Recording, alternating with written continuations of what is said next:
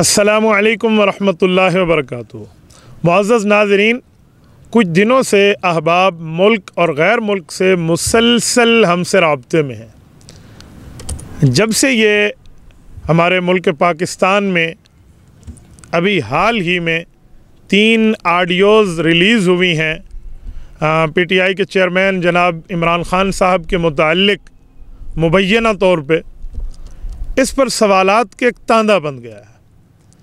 मैंने जानबूझ के शुरू में खामोशी इख्तियार की कि हमें किसी की ज़ाती मामले में नहीं पढ़ना चाहिए। ज़ाती टोह के अंदर लगने पर कुरान करीम मना करता है। रब करीम ने, वला तजस्सू फरमा कर सूरत हजरात आयत नंबर 11 में, आपको और मुझे इस बात से मना किया है कि हम किसी की ज़ातियात में एंट्री करें। इसलिए मैं खामोश था। मैं नहीं चाहता कि मैं ज़ातियात को मौजू बहस बनाऊँ, मैं नज़रियात पर गुफ्तु का कायल हूँ, नज़रियात पर दलाइल सुनने देने का कायल हूँ।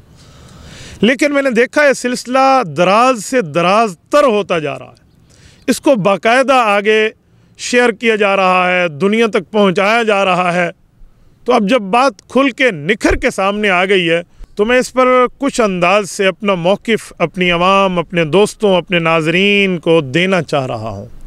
सबसे पहली बात यह है कि जो आडियोज़ आई हैं, ये सबसे पहले देखा जाए कि ये जाली हैं या असली हैं, फेक हैं या ओरिजिनल हैं।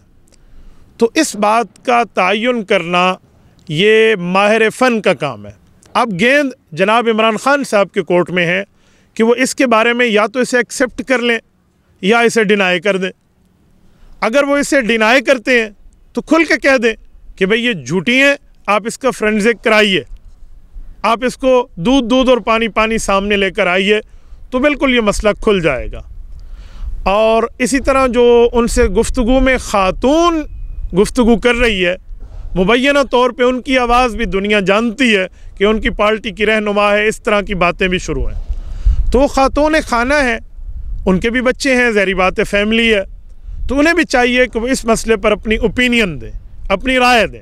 एक्सेप्ट करना है तो एक्सेप्ट करें डिनाई करना है, उसकी तरदीद करनी है तो तरदीद करें, ताकि ये मसला निखर के आवाम के सामने आए। दूसरे नंबर पर बात यह है कि अगर ये वाकई सच्ची हैं और हकीकत है तो फिर मेरा सवाल ये है कि जनाब इमरान ख़ान साहब, आप दुनिया को अपना कौन सा चेहरा पेश करते हैं और यहाँ क्या मामला पेश किया जा रहा है? आप दुनिया में ये बात कहते हैं कि मेरे पाकिस्तानियों, कौम का लीडर, कौम का बाप होता है। आप मेरे बच्चे हो। तो आप अपनी कौम के एक बच्ची से इस तरह की गुफ्तु क्या ये बाप का काम है? नंबर दो, आप कहते हैं, मैं अल्लामा मोहम्मद इकबाल रहमल्ला की रूह मुल्क पाकिस्तान में फूंकना चाहता हूँ और इनको अल्लामा इकबाल की सोच और फ़िक्र देना चाहता हूँ। इतनी गलाजत भरी सोच अल्लामा इकबाल की, इन्ना व इन्ना राजून ये तो नहीं है। इमरान खान साहब अपने जलसों में ऐलान कर दें कि हमने रियासत मदीना कायम करनी है। तो रियासत मदीना में इस तरह के काम की सज़ा क्या मौजूद है? ये भी आपके इलम में होगी। और इतनी गलाजत भरी गुफ्तु जिसको संजीदा महफिल में डिस्कस नहीं किया जा सकता। क्या मैं इस पर यह सवाल कर सकता हूँ कि जो आपका दावा है कि मुआशरे में कुफर का निज़ाम तो चल सकता है जुल्म का निज़ाम नहीं चल सकता, क्योंकि जब बड़ा चोर पकड़ा जाए तो उसे छोड़ दिया जाता है और छोटे चोर कानून और आइन के शिकंजे में आ जाते हैं। तो फिर इस मामले में ये और ये गलाजत भरी वीडियोज़ और ऑडियोज़ के बाद, आप अपने आप को कानून के हवाले करेंगे, आइन के हवाले करेंगे। शरीयत इस्लामिया और मीज़ान इस्लाम के तराज़ों में अपने आप को लाने के लिए सामना करेंगे इन मामला का। आप तो मिसालें देते हैं हज़रत उम्र फ़ारूक रज़ी अल्लाह तु की, कि उनके जिसम पर कपड़ा मौजूद है तो उनसे बड़े मजमे में सवाल हो गया कि आपके पास एक चादर से सूट कैसे बना है? ये एक एक चादरें सबको मिली हैं, उनके तो सूट नहीं बने। तो उन्होंने अपने बेटे को कहा कि, बेटा, इस बारे में आप अपनी बात फरमाइए। तो बेटे ने उठकर गवाही दी कि मैंने अपनी चादर अब्बा को हदिया कर दी थी, अब्बा जान ने उससे सूट बनवाया। आपका यह ऐलान है। कि हुक्मरान इस तरह रोल मॉडल होता है तो फिर आप यही बात करेंगे। मैं इस पर हैरान हूँ। आपने अपने जलसों में ये मिसालें दी हैं कि एक खातून की चोरी साबित हो गई तो रिसालत माबलाम ने शाद फरमाया कि इसके हाथ काटे जाएँगे, क्योंकि चोर के हाथ काटे जाते हैं रियासत मदीना में। आप ही अपनी गुफ्तु में हमें बता रहे थे, ये वाक़ हदीस पाक का कि उस खातून बड़ी कौम से रिलेटेड थी तो उसके लिए सिफारशें आ गई। तो आप सलाम ने फरमाया, अगर मेरी बेटी हज़रत फ़ातिमतुज़हरा रज़ी अल्लाह तहा जैसी अजीम शख्सियत के बारे में फरमाया, कि अगर वो भी चोरी करती तो मैं उनके हाथ काट देता। या आप हमें बताते हैं, आप कौम को बताते हैं, आप मिसालें देते हैं, और इस गुफ्तु में आप सुने, ये क्या मामला है भाई? ये क्या चेहरा पेश किया जा रहा है? ये क्या मामला पेश किए जा रहे हैं? यकीन मानिए, कौम आपसे सौ फ़ीसद मायूस हो चुकी है इस बारे में। आपको अपनी राय देनी पड़ेगी। मेरी मालूम में, जो कुछ सोर्सेज हमें बता रहे हैं। जनाब इमरान खान साहब ने अपनी टीम को इस पर खामोश रहने के कहा है। भाई, खामोश रहने से बात नहीं बनेगी। या इसको डिनाई किया जाएगा, या इसको एक्सेप्ट किया जाएगा। और दोनों सूरतों में बात खुल के सामने आएगी कि मामला क्या हैं, ये चेहरा क्या है, ये बातें क्या हैं। और अपने घर की हद तक बात होती ना तो खामोश रहा जा सकता था कि फैमिली मैटर है, घर के अंदर की बात है। यहाँ घर के अंदर की बात नहीं है। जो खातून खाना नहीं है, वो खातून गैर खाना है। आवाज़ें सब पहचानते हैं। मीडिया आवाज़ पहचान रहा है। लोगों में चुमा गोइयाँ शुरू हो गई हैं। ये कहाँ तक जाएगा मामला? और तीसरी बात, मैं अपने दोस्तों को, कारीन को, नाजरीन को सामीन को अपने फॉलोअर्स को, अपने दोस्तों, अपने साथियों को कहूँगा कि खुदारा, आप इस गंद में अपना हिस्सा न डालिए। आप इस बहती गंगा में हाथ न धोइए।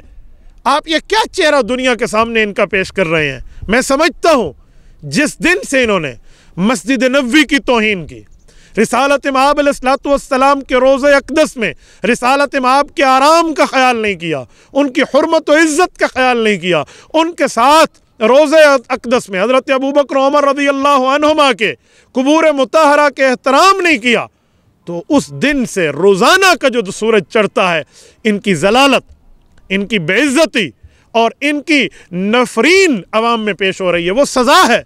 मस्जिद नबी के माहौल की इज़्ज़त और तकरीम की नौज़बिल्ला बेहरमती करने की। तो वो तो होगा, लेकिन आप लोगों को हमारे दोस्तों को, हमारे साथियों को, मेरे सुनने वालों को चाहिए कि हम इसको लेकर आगे न चलें। हमने इस पर कोई बात नहीं करनी। हमने अपना हिस्सा इसमें नहीं डालना। हम नज़रियात वाले हैं। हम ज़ातियात वाले नहीं हैं। चाहे उसने खातून खाना के अलावा घर से बाहर किसी के साथ कुछ भी हो, मुबैना तौर पर मुँह काला है या कुछ भी है, हम इसमें नहीं आएँगे। हम इन मामला में नहीं। मैं कुरान करीम, इस मसले पर, कुरान करीम की आयत, सूरत नूर की, आपकी खिदमत में कोट करना चाहूँगा। रब करीम ने सूरत नूर, आयत नंबर 19 में आपको और हमें एक बात इरशाद फरमाई है रब करीम फरमाते हैं इन लदीन तशीह अलफाहिशतु फिल्लदीन आमनु, लहुम अलीमुन दुनिया वल आखिरा, वल्लाहु यअलमु व अंतुम ए ईमान वालो, उनको खिताब है। जो लोग ये चाहते हैं कि एक फहाशी की चीज़ें मुमिन में आम कर दी जाएँ तो इनके लिए अजाब है दुनिया में भी और आखरत में भी। रब करीम इन मामलात को बेहतर जानते हैं, तुम नहीं जानते। हमें इस मामलात में हिस्सा नहीं डालना चाहिए। हमें इस मामलात में आगे नहीं आना चाहिए। जिस तरह मैं खामोश था, इसी बुनियाद पर खामोश था कि कुरान करीम हमें क्या बता रहा है? कुरान करीम हमें क्या समझा रहा है? हमें दीन इस्लाम क्या तालीमत इस बारे में बता रहा है? दीन इस्लाम तो किसी आम बंदे की, आम घर की बात को भी इस तरह उछालने की बात मैं नहीं करता। चे जाए कि किसी एक तबके के लीडर के बारे में हम बात करें। लेकिन वो जाने उनका खुदा जाने। हम इस मामले में शेयर करने में, आगे फैलाने में, आगे मामला चलाने में अपना हिस्सा नहीं डालेंगे। हम नज़रियाती लोग हैं, हम दलाइल पर बात करते हैं एविडेंस पर बात करते हैं, सबूत पर बात करते हैं। ये मामला अब इनके कोर्ट में है। ये इसको डिनाई करते हैं, ये इसको एक्सेप्ट करते हैं। ये जाने, इनका काम जाने। अल्लाह ताला हम सब की पर्दा सत्तारी के साथ सत्तारी फरमाए। अकूल को लिहाजा वास्तव वास्तफ़र व आखर दावाना अनिलहमदिल्ला रबालमीन